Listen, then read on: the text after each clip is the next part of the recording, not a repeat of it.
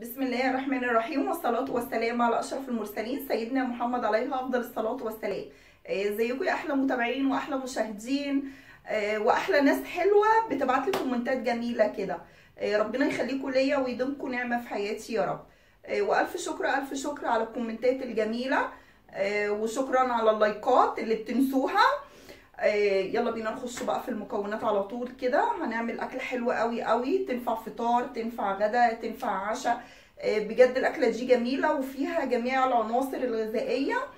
آه، هي العجة. العجة طبعا في العجة المصري في العجة التركي العجة المصري. آه، بس أنا هضيف عليها حاجات من التركي شوية. آه، العجه التركي يلا بينا كده وإحنا شغالين على النار آه، نشوف هنعملها إزاي. الأول نشوف المكونات النهارده هنعمل مع بعض العجة المصري بطريقة جميلة جدا جدا. آه، هي ليها كذا طريقة بتتعمل بيها. العجة التركي والعجة المصري. أنا هاخد من التركي شوية وهضيفه على العجة المصري. طريقة جميلة جدا جدا إن شاء الله تستفيدي منها. بجد مكوناتها سهلة وبسيطة ومفيش ربع ساعة يعني ممكن بنوتة صغيرة. آه، تعملها في دقايق كده اهوت وهتكون استوت وطالعه بالمنظر الجميل دوت أكنها كيكة. آه، بجد حلوة قوي قوي. جربيها بالشكل دوت وإن شاء الله مش هتبطلي تعمليها. يلا بينا نسمي الله ونخش ونشوف المكونات بتاعتنا. آه، المكونات بتاعت العجة بتاعتنا. معايا هنا هو 8 بيضات. آه، معايا فلفل ألوان. طبعا حبيتي تستغني عنه ما فيهوش أي مشكلة. أنا هقول لك على الأساسيات بتاعه العجة. آه، البيض حسب الكمية اللي انت عايزاها نص كوباية لبن 3 معالق دقيق آه، بصلاية آه، خضرة.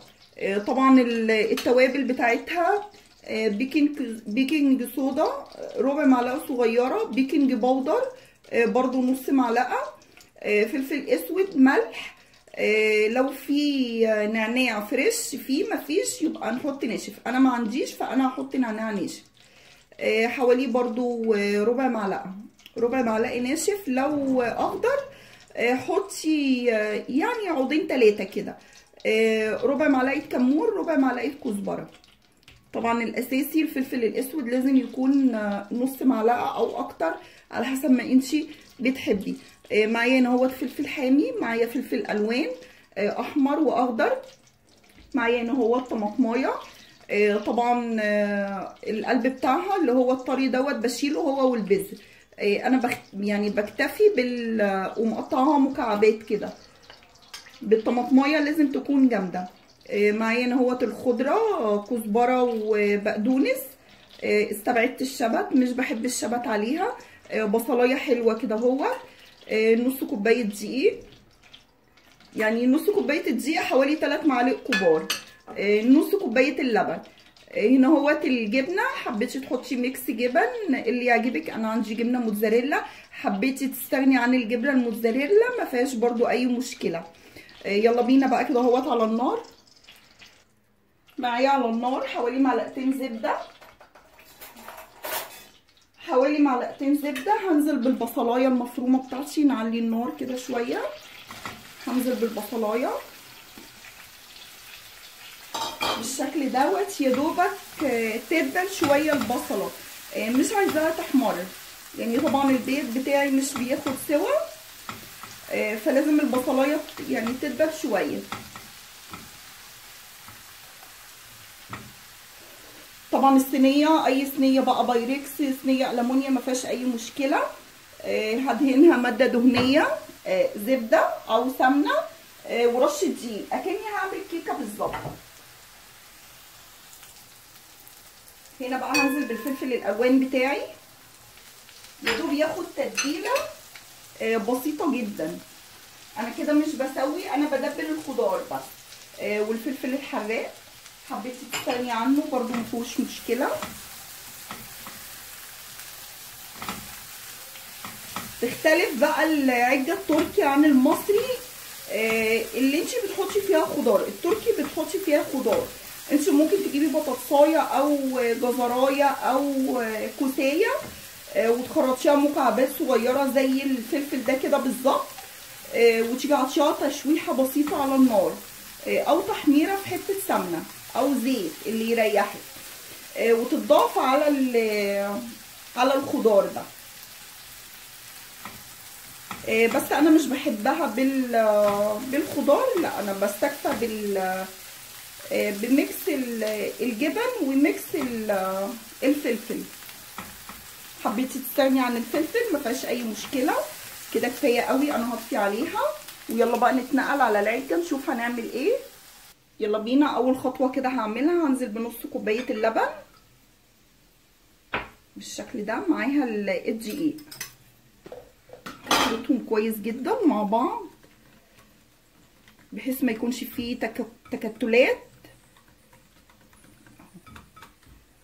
اهو بالشكل ده كده.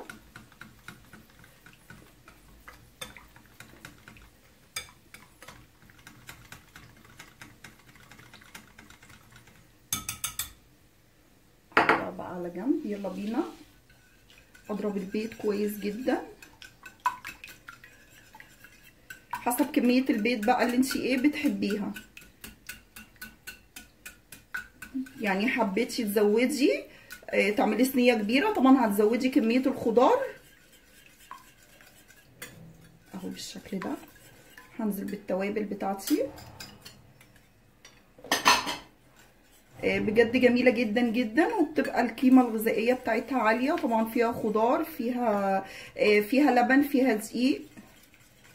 لازم يتضرب كويس جدا جدا.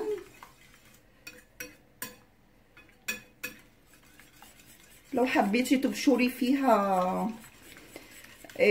بطاطساية ما فيهاش أي مشكلة. جزراية بس أنا عيالي بيحبوها كده بصراحة. بس كل ما زادت المكونات بتاعتها كل ما زادت القيمة الغذائية بتاعتها. كده قلبناها كويس قوي. نزلت بالطماطم بالخضرة بتاعتي. طبعا هقلب المكونات دي كلها. آه عبال. آه البصل بتاعي ما يهدى شوية ويبرد. عشان ما انزلش كده على البيض ابص الاقي حتت اتكتلت واستوت معايا. هنزل بالجبنة. حبيتي تستغني عن الجبنة؟ ما أي مشكلة. يلا بينا بقى الخليط كله كده يندمج مع بعض.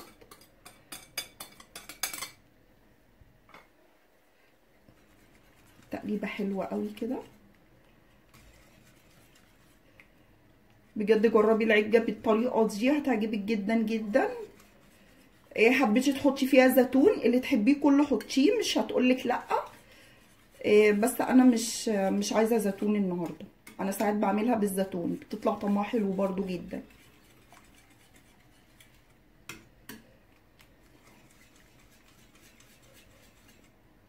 اهم حاجة إن هي تتقلب كويس.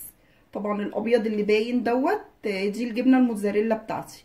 طبعا بتسيح وبتبقى مخليه طعم البيتزا حلو قوي. عندك جبنة شيدر حطيها عندك جبنة رومي حطيها آه بتبقى حلوة قوي برده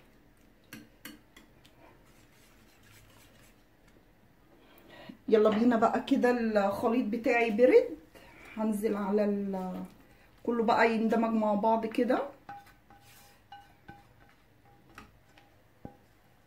تقليبة حلوة. بجد لسه ما عملتهاش وريحتها حلوة جدا بجد.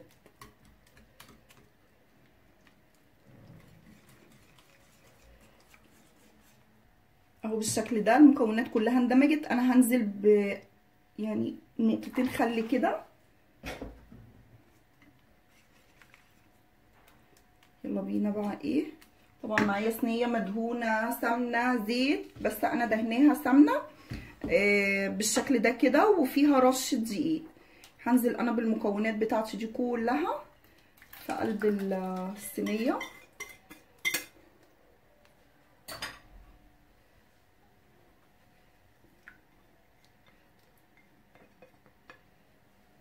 بجد طريقة العجة دي حلوة قوي قوي بجد هتعجبك. جربيها بنفس الطريقة بتاعتي دي. طبعا أكني بسوي كيك بالظبط. لازم الفرن يكون سخن عند درجة حرارة 200 و 220 هحطها على الرف الوسط وهنرجع مع بعض بعد ما تستوى بإذن الله. الحاجة بتاعتنا ريحتها حلوة جدا جدا. وشايفين قبة إزاي؟ يعني هشه أكنها كيك بالظبط. يلا بينا كده نحاول نقطعها. آه، مع إنها سخنة جدا بس أنا هحاول آه، أقطعها وأطلعها كده ما تتفرفتش. يلا بينا كده نحاول نطلعها من من البايركس بتاعنا. آه، مع إنها سخنة بس أنا هحاول أطلعها بأقل الخسائر. ما تتقطعش مني. بسم الله الرحمن الرحيم.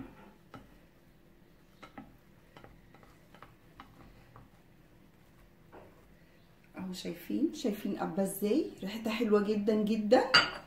شايفين؟ أكنها حتة كيكة بالظبط. شايفين ريحتها جميلة واستوت وشايفين هشة وقبه أهي جميلة جدا جدا. يا رب طريقة ال- العجة تكون عجبتك وتعمليها بنفس الطريقة دي وتعجبك جدا جدا. وطعمها حلو قوي آه، وريحتها حلوة وشايفين مش لازقة من تحت. شايفين؟ سخنة جدا جدا. يعني اتعاملي مع العجة نفس معاملة الكيك بالظبط. إن شاء الله تعمليها وهتعجبك قوي قوي بنفس الطعم الحلو دوت كده. آه، ما تنسينيش بقى في اللايك وتفعيل الجرس عشان يوصلك كل جديد بإذن الله. والسلام عليكم ورحمة الله وبركاته. مع ألف مليون سلام.